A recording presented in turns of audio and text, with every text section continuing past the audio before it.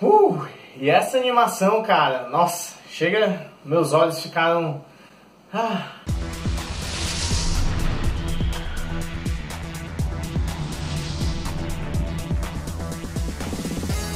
Então, maluco, que minhas primeiras impressões e tal de Fate Apócrifa, que é a mais nova interação da série Fate, entendeu? Fate Stay Night, tem Fate Stay Night Unlimited Blade Works, tem vários spin-offs, é, é uma porrada de coisa, cara.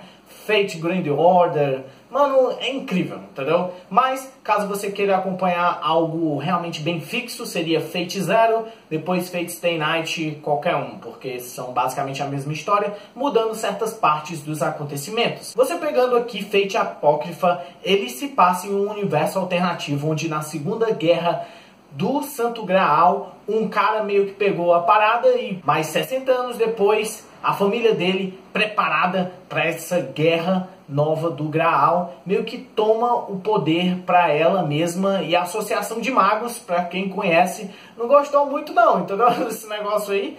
E eles meio que foram lá e tentaram reaver, só que todos foram completamente aniquilados com cenas bem fortes e tudo mais. Você olha, wow, what the fuck? Vamos ver sangue aqui nesse feito. Vai ser dada a largada para uma grande guerra do Graal, que seria sete servos versus sete servos, cada um no seu lado, o negro e o, vermelho, basicamente, sabe?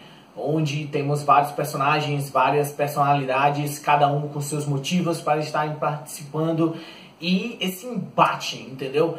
Com quem você vai estar do lado. Só que nenhum deles é realmente o personagem principal. O personagem principal é o Shiro, que vai estar, vai observar junto com a sua serva, a Jane, que é a Joana Dark, sabe? Basicamente. Agora, a primeira coisa que você percebe é a animação, maluco. Aquela primeira cena da guerra acontecendo, entendeu? E a batalha toda. Animação inacreditável, maluco. Já é um motivo para você assistir Fate aqui. O Apócrifa é pela animação e as lutas que vão ser super épicas e numa escala bem maior, já que tipo são 14 servos, não é só 7. Não é um negócio bem mais individual, entendeu? Em cada um por si. É um lado contra o outro, então vai ter vários tipos de estratégias e tudo mais. Vai ser muito foda e bastante interessante. Você precisa assistir outras coisas de Fate Night para você entender o que vai acontecer aqui em Fate Apócrifa?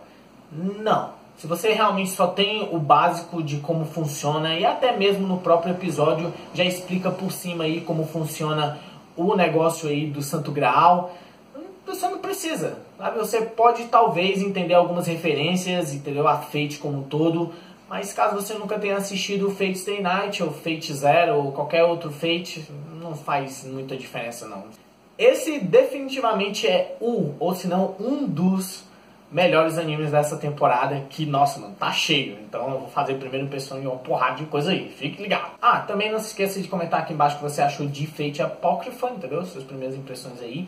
Principalmente da animação. A galera só vai falar da animação e como a história é muito foda, entendeu? É Fate, enfim. Também se inscreva no canal e então o site Multiverse Geek na descrição desse vídeo.